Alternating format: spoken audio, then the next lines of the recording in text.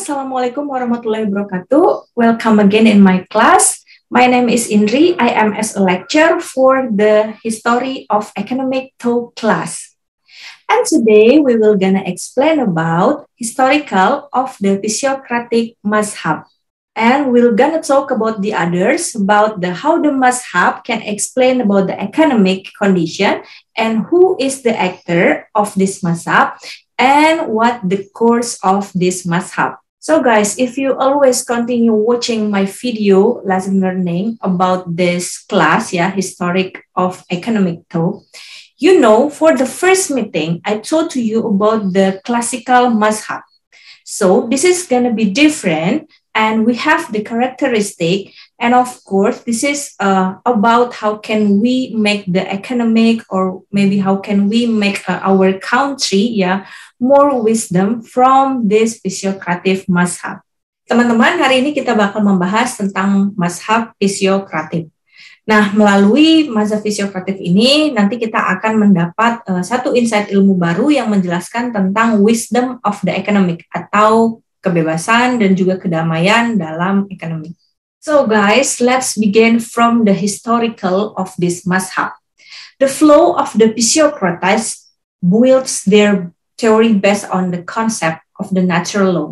Jadi Physiocrates ini mempunyai anggapan bahwa ekonomi itu seperti halnya hukum alam. And then so that they call themselves Physiocratism which come from the word physics. Jadi kalimat fisiokratism itu atau fisiokrat berasal dari kata fisik yang artinya tubuh. Nah, dalam hal uh, kita berbicara bagaimana kondisi fisik tubuh, ada otak yang mengendalikan, lalu bagaimana tangan bergerak ini juga atas perintah dari otak dan juga beberapa sambungan-sambungan syaraf lainnya. Sehingga dalam ekonomi fisiokrat ini mazhabnya berkata bahwa which mean nature certainly or critters, which mean power. In other words, uh, other rates of the school believe that natural research are the source of the world. Jadi hukum alam yang ada mengatakan bahwa sumber daya alam itu mampu untuk memenuhi kebutuhan manusia. Dan biarkan ekonomi itu mengalir sebagaimana keadaan fisiknya manusia. Memang ada yang memerintah, ya tadi yang saya katakan adanya syaraf otak ya yang memerintah kegiatan kita untuk melakukan misalnya mengambil air, kita ingin menyendok makanan. Namun semua itu teman-teman biarkan mengalir begitu saja tanpa adanya paksaan. Di mana nanti teman-teman juga akan mengerti uh, kalimat paksaan tersebut atau mungkin uh, kalimat pengaturan ya dari sistem syaraf otak itu kalau kita analogikan dengan kehidupan yang ada di ekonomi pada mazhab fisiokrat ini uh, peran pemerintah ya yang sangat penting bagaimana harusnya mengatur jalannya perekonomian. Namun di fisiokrat jauh lebih percaya bahwa peran pemerintah itu sebaiknya uh, tidak ada gitu. Atau mungkin adanya peran pemerintah hanya untuk mengatur beberapa kebijakan-kebijakan negara namun tidak berarti mengatur hak kesejahteraan masyarakat tersebut. Sehingga mazhab ini hampir mirip seperti uh, mazhab yang ada di klasik ya dari yang diceritakan di video pembelajaran pertama yang disampaikan juga oleh aktornya Adam Smith. Namun di sini mereka nanti akan mengkategorikan uh, empat golongan ya teman-teman berdasarkan kemampuan para masyarakatnya tersebut. Now, when we talk about the rule of the nature, the word physiocratic come from the ancient Greek language and which a combination of two words, namely physic, or we can call the nature, natural science, and certainly of the kratos, its mean, string, or the power, which is then interpreted as a natural power or natural law, or maybe we can say a rule of the nature. Dan teman-teman bisa lihat di sebelah ini juga ada gambar ya dari buku Pisiokrat uh, yang pertama kali dikeluarkan pada zaman itu. Dan kalimat Pisiokrat ini tadi sudah saya sampaikan bahwa mengambil dari kata fisik dan juga ada kata Kritein ya atau kretos artinya adalah strange atau kekuatan. Yang artinya uh, bahwa physical yang kita kategorikan di sini sebagai alam ya atau juga uh, sumber daya alam atau mungkin kekayaan alam yang bisa berdasarkan hukum alam uh, dari ilmiah gitu teman-teman ya. Mereka ini mempunyai power atau kekuatan sehingga mampu untuk mengatur sumber daya ekonomi. Nah, seperti teman-teman ingat juga di video pembelajaran yang pertama ada istilah the world of nation yang disuarakan oleh Adam Smith mengatakan bahwa perekonomian yang dikategorikan baik, yang produktif itu adalah bagaimana perekonomian yang tidak hanya memiliki sumber daya alam yang melimpah saja, tapi juga mempunyai kemampuan untuk mengolahnya. Nah, it seems like uh, fisiokratif mazhab, di mana fisiokratif juga menganggap bahwa fisiokrat memiliki kekuatan untuk um, mengatur hukum alam ya, sebagaimana tadi yang disampaikan oleh the rule of nature. And the Physiocrat believe that the nature created by the God is a full of harmony. Ya. Jadi kesinambungan atau keselarasan ya yang terjadi dalam perekonomian ini juga diciptakan dengan uh, seperti halnya Tuhan menciptakan tubuh manusia gitu. Jadi uh, ada kalanya mungkin kita harus melakukan suatu hal uh, atau kita bertindak ya untuk melakukan suatu hal yang memang uh, itu harus diperintahkan dulu oleh beberapa tadi yang saya bilang syaraf-syaraf yang ada di otak. Namun juga mungkin ada kalanya dalam perekonomian ini harmoninya juga tidak berjalan dengan baik. Seperti halnya tubuh jika lelah dipakai untuk bekerja seharian pasti uh, akan menghasilkan satu sistem tubuh yang error. Nah, sebenarnya di Physiocrat juga mengajarkan yang seperti itu. Ekonomi ini tadi seperti dikatakan rule of nature, bagaimana alam yang mengatur kita dan bagaimana kita bisa bekerja sama dengan alam ya.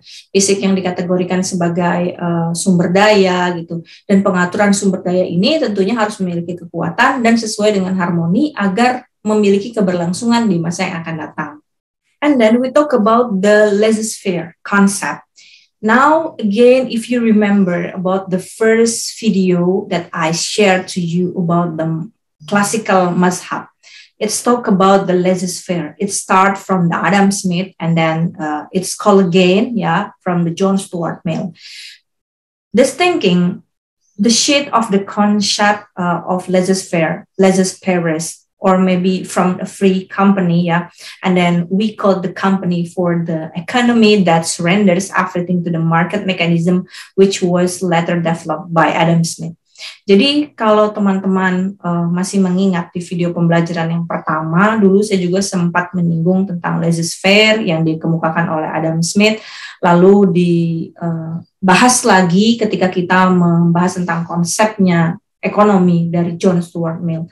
Artinya bahwa uh, tokoh-tokoh ekonomi yang sosialis gitu ya, tidak mengarah kepada kapitalis, teman-teman bisa kategorikan bahwa inilah tokoh-tokoh ekonomi yang menciptakan keselarasan ya dalam kehidupan uh, ekonomi pada zaman itu dan percaya bahwa biarlah perekonomian ini mengalir begitu adanya tanpa adanya paksaan, tekanan atau begitu banyak peraturan mungkin from the government. Now let me introduce to you about the actor ya from this physiocrat mazhab. Uh, it's come from the Francis Cusney or maybe it more uh, known yeah about the Kusne theory. Kusne is a doctor, surgeon doctor, jadi dia dokter bedah, but he was interested in economic matters and especially those concerning agriculture because of uh, his concern for the depressed life of the uh, peasants. Jadi dia ini seorang dokter bedah dan dia juga tertarik sama bidang ekonomi karena dia melihat begitu banyak masyarakat-masyarakat yang merasa hidupnya ini keterbelakangan. Kesusahan lah gitu selama dia menjadi seorang dokter. One of Kuznets phenomenon result in the economic is that the economic activity that occurs to the society from a circular flow patterns. Jadi sebenarnya ekonomi ini akan ada hubungan sama kehidupan sosial, bagaimana nanti perekonomian berdampak kepada kehidupan sosial yang dipengaruhi oleh of income and expenditure. Penghasilan dan pengeluaran seseorang sangat dapat mencerminkan itu dari kehidupan perekonomian, which involves the circulation of goods and the circulation of the money based on a repetitive process of the reproduction. Jadi sifatnya apa yang bisa dihasilkan manusia ya itu juga pasti akan memiliki pengeluaran yang memang pengaturannya bisa berdasarkan uang ya atau mungkin beberapa proses-proses uh, produksi yang biasanya juga terjadi dalam sektor-sektor perekonomian. Kusney make a tableau economic. Ya, jadi Kusney ini menciptakan teori ya atau pemahaman tentang tableau ekonomi. Kita biasa sebutnya tabel ekonomi. Nah, in his book about the tableau economic, Kusney described the economic system of the country look like the biological life of the human body seperti yang tadi saya sampaikan di awal bahwa paham fisiokrat ini berasal dari kalimat fisik dan akhirnya diperkuat oleh uh, pemahamannya dari Kusney bahwa perekonomian ini seperti keadaan biologis manusia gitu. Between one part of the body with uh, other parts to form a harmonious whole. Jadi ada kegiatan harmoni tadi yang saya ceritakan di awal bagaimana otak ya mendirect tubuh kita untuk melakukan sesuatu atau somehow ini tidak selalu sukses tapi bisa saja kita uh, mendirect satu hal yang tadi ada sistematika error thinking gitu ya. Likewise in the process uh, and symptom of the economic life when view in a term of the relationship between one part and the other part uh, from a whole with spreads laws. Jadi ada beberapa bagian ya dari tubuh ini yang memiliki hubungan satu sama lain gitu dan sebenarnya ada juga beberapa bagian yang tidak saling berhubungan gitu. Dalam artian uh, ketika kita melakukan suatu proses tadi mungkin hanya beberapa bagian-bagian tubuh saja yang mampu merespon karena bagian tubuh yang lainnya uh, dianggap kurang mampu. Nah, seperti itulah perekonomian. Ketika ada salah satu kegiatan ekonomi, tidak semua bagian dari ekonomi itu semuanya bekerja Eh, sama. Mungkin ada yang memang memiliki peran penting gitu ya dalam uh, sektor tersebut atau mungkin ada beberapa hal yang uh, memiliki kecakapan khusus atau memiliki uh, integrasi khusus lah gitu untuk melakukan suatu kegiatan tanpa harus kita uh, meniadakan ya sistem kesejahteraan dan juga kesetaraan dalam pembangunan perekonomian tapi melalui uh, tabel ekonomi ini tercipta bahwa nantinya akan ada kelompok-kelompok yang memang jauh lebih unggul dan mereka eh, kelompok-kelompok yang membantu kelompok lain untuk menjadi lebih unggul seperti halnya sektor penopang dalam perekonomian. Now, Kusney divided society into four groups. The first group is a group of the productive people who manage mining and agricultural uh, land ya, sektor-sektor pertambangan dan juga sektor-sektor pertanian. Group number two is the landlord class di mana ini adalah tempat orang-orang yang menjadi tuan tanah. Kalau tadi yang di pertama hanya memanage uh, sistemnya saja gitu atau sektor produksinya saja. Kalau yang kedua adalah mereka yang pemilik dari lahannya. And number three is unproductive class consisting of the craftsman or maybe uh, merchant orang-orang yang berdagang, ya pengrajin, nah ini masuk ke golongan ketiga. And the last, nomor empat, working class of the society who receive wage from their labor.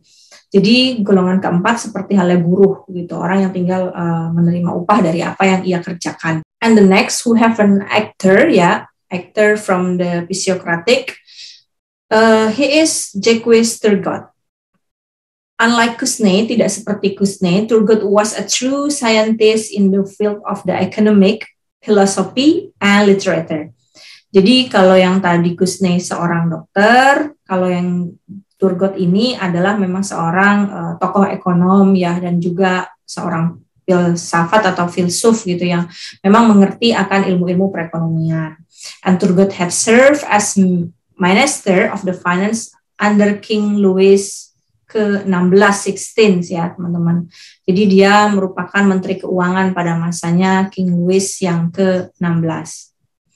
And in line with the Kusney thinking, Turgot also argues that the net product created by the agricultural sector is the only source that can maintain the life of the other group uh, group people. Jadi bahwa Turgot ini juga percaya sistem perekonomian yang berasal dari sektor pertanian. Ini juga menjadi dasarnya ya sektor pembangunan di mana menjadi penopang gitu bagi sektor perekonomian dan bisa memaintain sektor-sektor yang lainnya. According to Turgot, most the surplus is enjoyed by the landowner as land rent. Jadi ada beberapa orang-orang yang memang uh, sangat senang gitu sebagai kondisinya tuan tanah yang dia tidak bekerja tapi menyewakan tanahnya kepada orang lain yang ingin bercocok tanam di tanah tersebut. And next, Turgot create a tax system. Turgot recommended that a single tax be imposed. The single tax should be linked to the net product. Why? Kenapa harus pajak bersih untuk satu uh, produk ya atau satu produk dikenakan sistem halnya pajak bersih uh, tapi setelah pengenaan harga bersih jual dari pajak uh, dari barang tersebut. Karena Turgot also recommended that the level of the tax collected must be proportional to the size of the net product from agricultural sector. Jadi kenyataannya ya, kenapa satu barang menurut Turgot itu harus dikenakan pajak bersihnya?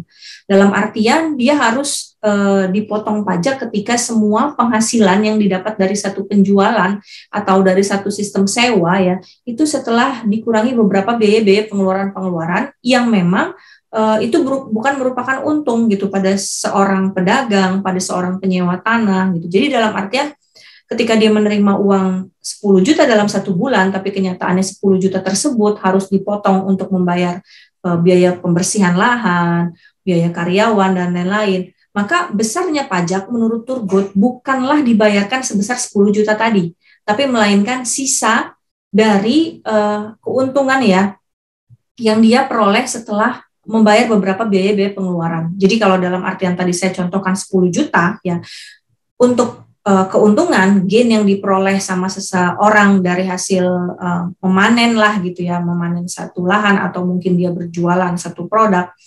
But the tax not counting dari keseluruhan uang 10 juta tadi harusnya dikurangi dulu dengan biaya-biaya pengeluarannya. Let's say we call it mungkin hanya 5 juta lah ya. Kita bilang cuma 5 juta. Nah, dari 5 juta itulah baru dihitung berapa sih pajak proporsional yang patut dikenakan uh, dalam satu produk. Karena apa? Karena kalau dari awal 10 jutanya ini sudah include by the tax, maybe uh, untuk welfare kesejahteraan orang yang menerima uang 10 juta itu pasti sudah tidak sama lagi nominalnya 10 juta. Karena sudah dikurangi pajak. Namun pajaknya juga seakan-akan mengurangi penghasilan dia yang besar, padahal kenyataannya ya, kenyataannya setelah dikurang-kurangin uh, uang 10 juta itu yang mampu dia nikmati hanya yang 5 juta saja. Nah, di situlah ada permasalahan tentang welfare of the citizen yang merasa terganggu dengan adanya sistem pajak. And then the Turgot concept is also still used by the many countries around the world, including Indonesia. Nah, salah satunya juga uh, yang ada di Indonesia ini ya, jadi memang sistem uh, pembayaran pajaknya juga ya untuk beberapa jenis barang ini dihitung bukan dari biaya kotornya, tapi dari biaya bersih untuk si penjualannya tersebut. Jadi baru nanti bisa dikenakan mungkin jasa servis gitu atau mungkin jasa pelayanan, tapi berdasarkan apa yang sudah dia nikmati. Jadi bukan uh, dari keseluruhan uh, semua pengeluaran-pengeluaran yang dilakukan gitu. Namun kenyataannya tadi keuntungan yang didapatkan itu harus masih menutupi beberapa kebutuhan. But when the uh, welfare or, or value ya yang kamu dapatkan itu selalu meningkat setiap tahunnya, maka di sistem Turgot ini juga memberitahu tentang uh, progresif ya proporsional dari metode pemotongan pajak. Jadi kalau penghasilannya semakin bertambah, maka bisa juga pajaknya itu semakin meningkat. Tapi tentunya dihitung dulu berdasarkan beberapa potongan-potongan uh, penghasilan ya, sorry pengeluaran lah pengeluaran yang nantinya mampu untuk memenuhi kebutuhan seseorang dari hasil menikmati penghasilan tersebut. Oke okay, guys, this is the last ya. It's time to quiz. So, would you like to answer my quiz uh, in the comment box ya? Tolong tulis jawabannya di dalam kolom komentar. So I have a question for you. What does it mean that the economy is like the universe? And is the government rule necessary? Jadi menurut teman-teman eh, peran pemerintah itu penting atau enggak dan bagaimana sih sebenarnya sistem perekonomian kok bisa dikatakan seperti halnya tadi yang kita jelasin di awal seperti halnya uh, aliran dunia gitu kan ya atau aliran tubuh lah yang versi sempitnya gitu kita jelasin bahwa ekonomi ini harmoni as the biological human body yang seperti dikatakan Kusney. Oke okay guys, if you need more uh, reference or maybe kamu mau mencari tahu ya lebih dalam lagi tentang mazhab fisiokrat, kamu bisa membaca dari this reference ya. Buku referensi ini uh, teman-teman bisa lihat dan teman-teman juga bisa download secara online. Nah, sehingga teman-teman bisa jauh lebih paham ya about the fisiokratif mazhab. Okay, guys, I think it's enough the explanation for this video about the Physiocrat Mazhab. So I hope a lot of you would like to answer our question, yeah, for the quiz in the comment box. And then for this video, we can know about the Physiocrat uh, Mazhab, tell us about the rule of the nature and how can be progressive tax uh, exist in Indonesia. Seperti halnya tadi yang disampaikan tentang pemungutan pajak proporsional dan juga bisa menggunakan sistem yang progresif dan bagaimana hukum alam yang diceritakan oleh Kusney ya, seperti halnya uh, keadaan biologikal seorang manusia. Once again, thanks for watching guys and then don't forget to like and subscribe. Bye-bye.